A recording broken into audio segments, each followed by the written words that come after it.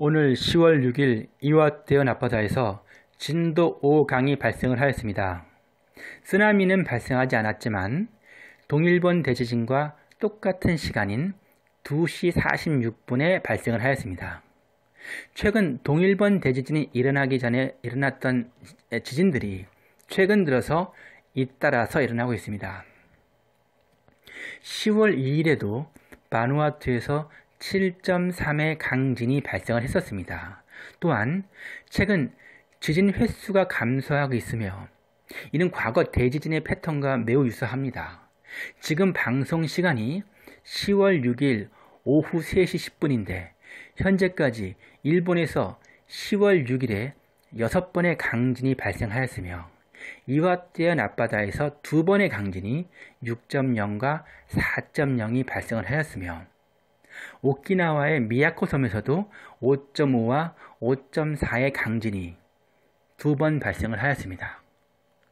어제 10월 5일에는 또 한 번 이시카와 현의 노도 지방에서 강진이 발생을 하였고 10월 4일에는 대만 부근에서 4.9의 강진이 발생하면서 또 한 번 류쿠 해구의 대폭발을 우려하게 만드는 대만과 오키나와의 강진들이 3일 연속 발생을 하고 있습니다. 또한 중앙구조선 단층대의 대폭발 우려가 있었던 와카야마현에서 10월 5일에 진도 3의 강진이 발생을 하였습니다. 또한 10월 3일에는 와카야마현의 상수도간 다리가 완전히 붕괴되어서 30만 가구가 단수가 되고 아직도 단수가 계속되고 있습니다. 복구는 10월 9일 정도에 된다고 합니다. 더욱 심각한 상황인 것은 일본 전역의 모든 상수도 시설들에서 동일한 파손 상황이 발견되었으며 9천만 가구 이상의 가구에 단수가 시작될 수도 있다는 것입니다. 일본 수도국 책임자에 따르면 와카야마시의 수도관 붕괴를 토대로 다른 지역의 수도관들을 조사 중 동일한 균열과 붕괴 현상을 발견했다면서 아마도 지진에 의한 것으로 추측되고 있으며 짧은 시일 내에 일본 곳곳의 수도관들의 동일한 붕괴가 시작될 것이며 안타깝지만 국가전, 국가적 단수 상황이 시작될 수도 있는 상황이기에 현재 생수들을 준비 중이라고 말하였습니다. 또한 일본 수도국 기술자들조차도 해당 수도관 붕괴의 수리기설을 가지고, 가지고 있지 않아서 한국의 기술자들의 도움을 요청하고 있다고 합니다.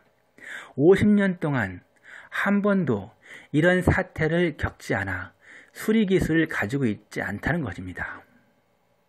우리가 중요하게 봐야 하는 것은 이번 와카야마현의 상수도관 다리 붕괴는 제가 여러 번 말씀드렸던 토양 액상화 현상이 그 원인일 확률이 매우 높습니다.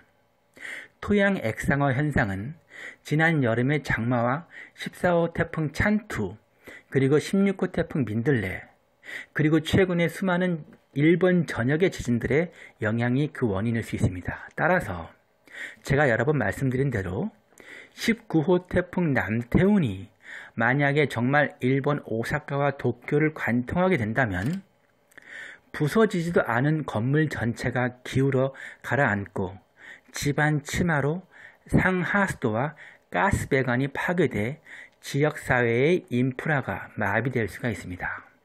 토양 액상화는 대부분 강진 이후에 뒤따르는 현상으로 특히 새로운 퇴적층에서 흙과 모래, 자갈 따위가 힘을 잃고 맥없이 흘러내리는 것을 가리키는데 이런 현상이 일어나면 구조물이 이동하거나 가라앉아서 이미 지진으로 일어난 구조적 손상을 크게 악화시키게 됩니다. 작년 2020년 3, 4분기부터 시작된 일본의 과거와는 비교가 안 되는 많은 지진들이 2020년, 2021년 10월 6일 현재 이러한 토양 액상화 현상을 만들고 있으며 19호 태풍 남태운이 일본 도쿄 상륙과 관통 가능성으로 인하여 일본은 최대의 위기를 맞이하고 있습니다. 시청해 주셔서 진심으로 감사드리겠습니다. 구독과 좋아요, 알람 설정을 꼭 부탁드리겠습니다. 이 채널을 운영하는데 큰 힘이 됩니다. 감사드립니다.